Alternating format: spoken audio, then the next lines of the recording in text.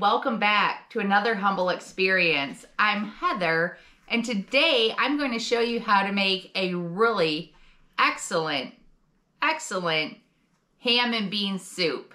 So let's get started.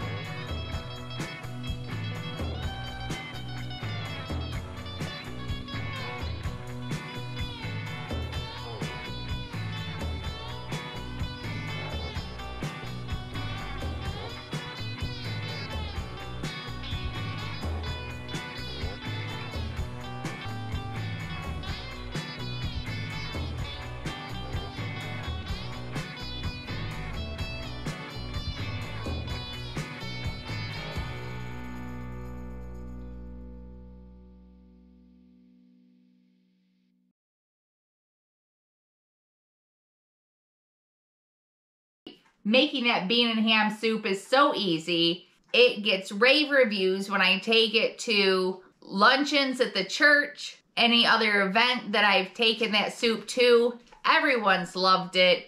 It's great the second day if there's any left. It's so easy to make great tasting food, simple and decadent.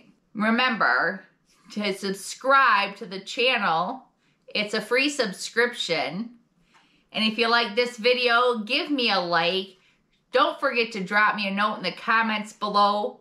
I have all the parts of the recipe in the comments as well. And remember to stay adventurous, try something new, and thanks for watching.